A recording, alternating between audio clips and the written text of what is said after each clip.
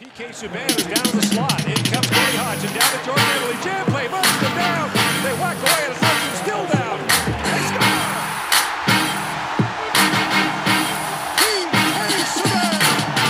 I'm happily able to say that I'm officially a member of Team Gatorade. Yesterday when I told my parents about the fact that I'm coming here, we just started reflecting on the athletes that have, you know, represented the brand. Talk about Michael Jordan, Derek Jeter, these types of athletes. I mean, I, I drank Gatorade because of Michael Jordan, you know, and you are what you put in your body. So with the science and technology, I mean, you look at Gatorade, how it's evolved over the years, but just everything in sports has evolved so much and if you're not paying attention to the details, if you're not taking care of your body, if you're not constantly looking for that edge, you're, you're really getting left behind.